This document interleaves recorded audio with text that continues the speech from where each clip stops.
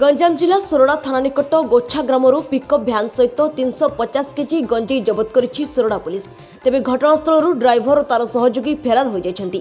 ସୂଚନା ମୁତାବକ କନ୍ଧମାଳରୁ ଭୁବନେଶ୍ୱର ଅଭିମୁଖେ ଏକ ଧଳା ରଙ୍ଗର ମ୍ୟାକ୍ସ ପିକଅପ୍ ଗାଡ଼ିରେ ଦୁଇ ଜଣ ବସି ଗଞ୍ଜେଇ ଚୋରାଚାଲାଣ କରୁଥିବାର ବିଶେଷ ସୂତ୍ରରୁ ଥାନା ଅଧିକାରୀ ରମେଶ କୁମାର ପ୍ରଧାନ ଖବର ପାଇ ଆଜି ସକାଳ ସମୟରେ ପୋଲିସ ଏନ୍ଏଚ୍ ଫିଫ୍ଟି ନାଇନ୍ର ଢୌଗା ନିକଟରେ ନାକାବନ୍ଦୀ କରିଥିଲେ।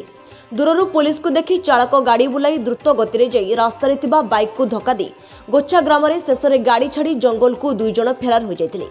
ଘଟଣାସ୍ଥଳରୁ ଗାଡ଼ି ସହିତ ଗଞ୍ଜେଇକୁ ଜବତ କରି ତହସିଲଦାର ପ୍ରଫୁଲ୍ଲ ଚନ୍ଦ୍ର ଡାକୁଆଙ୍କ ଉପସ୍ଥିତିରେ ଓଜନ କରିବା ପରେ ତିନିଶହ ପଚାଶ କେଜି ଗଞ୍ଜେଇ ଥିବା ଜଣାପଡ଼ିଛି ଯାହାର ଆନୁମାନିକ ମୂଲ୍ୟ ପଇଁତିରିଶ ଲକ୍ଷ ଟଙ୍କା ହେବ ବୋଲି ଅନୁମାନ କରାଯାଉଛି।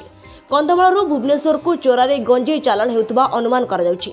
ଗଞ୍ଜାମ ଜିଲ୍ଲା ସୋରଡ଼ାରୁ ମନୋରଞ୍ଜନ ଅଧିକାରୀଙ୍କ ରିପୋର୍ଟ ସକାଳ ଖବର।